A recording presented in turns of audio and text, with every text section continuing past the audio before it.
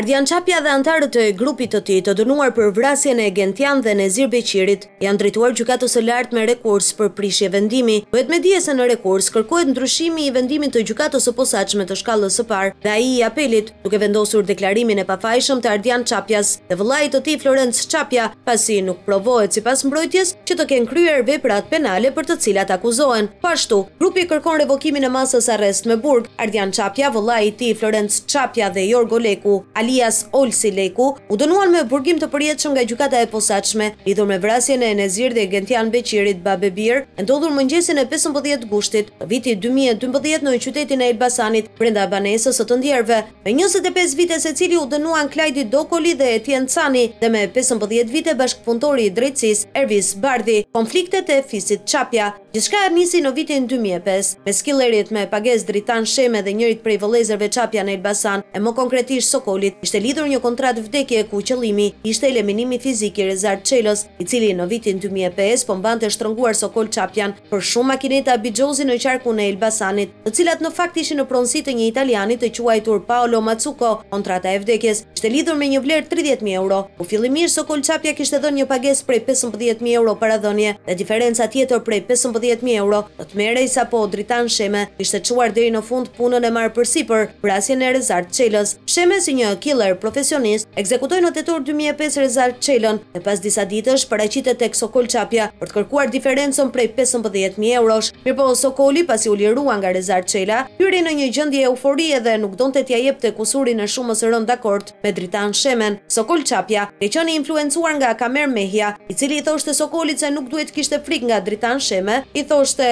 Nuk duhet të kesh frikë nga Dritani, i cili është i gjatë një metër e gjysmë, kurse ti je dy metra. Kontrata e vdekjes mes Shemes dhe Çapja u shpjegua nga Elton Mema, djali i Fadil Memës, i cili ishte pyetur nga prokurori Ritvan Suka në katërmbëdhjetë shkurt dy mijë e nëntëmbëdhjetë në ambientet e Gjykatës së Torinos, në prani të kolonelit italian Paolo Palazzo dhe Antonio Nicoletta e prokurorit italian Cesare Parodi. Në dëshminë që Elton Mema shpjegoi se ngatërresa me Çapjat ndodhi pikërisht kur babai i tij donte të festonte ditëlindjen e dyzet. Në lokalin e tyre Univers, po Çapjat e kushtëzuan se nuk e donin prezencën e kushëririt të tyre, Dritan Sheme në lokal.